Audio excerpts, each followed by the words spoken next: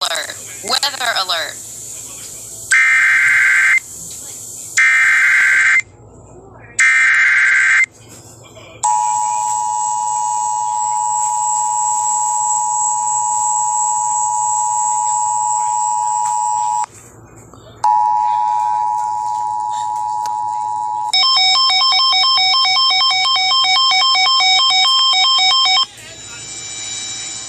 The National Weather Service in Sterling, Virginia has issued a special marine warning for Tidal Potomac from Indian Head to Cobb Island, Maryland. Tidal Potomac from Key Bridge to Indian Head, Maryland until 5:30 p.m.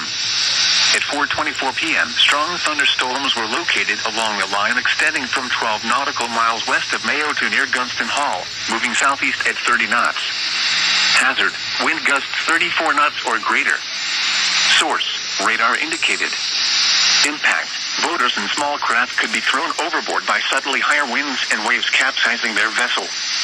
Locations impacted include Leesylvania State Park, Smallwood State Park, National Harbor, Quantico, Fort Washington, Tidal Basin, Reagan National Airport, Gunston Hall, Mason Neck State Park, Woodrow Wilson Bridge, Indian Head, Key Bridge, Occoquan Bay, Fort Hunt, and Alexandria.